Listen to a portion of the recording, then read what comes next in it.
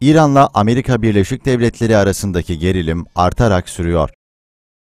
Amerika, İran'la artan gerilim üzerine Orta Doğu'ya USS Arlington amfibi savaş gemisini ve bir Patriot hava savunma bataryasını sevk etti.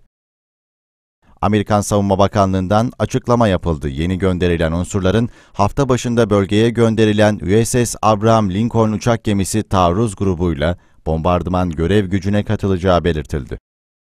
Savunma Bakanlığı'nın İran, İran ordusu ve destekledikleri güçlerin faaliyetlerini yakından izlediği de açıklamada kaydedildi.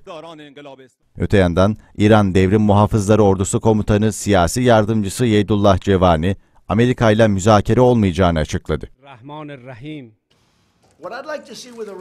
Amerikan Başkanı Donald Trump, Beyaz Saray'da yaptığı konuşmada İran hakkında yapmaları gereken şey şu, beni arasınlar, oturup konuşalım ve adil bir anlaşma yapalım.''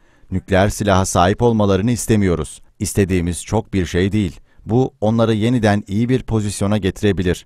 İran'a zarar vermek istemiyoruz, ifadelerini kullanmıştı. Trump'ın bu sözlerine cevap veren Cevani, Amerika ile bir müzakere olmayacak ve Amerikalılar İran'a yönelik askeri bir girişime cüret edemeyecek dedi. General Cevani, Trump ve ekibi İran'da karışıklık çıkacağına ve İran'ın bu krizden kurtulmak için Amerika ile müzakere yapacağına inanmaktaydı.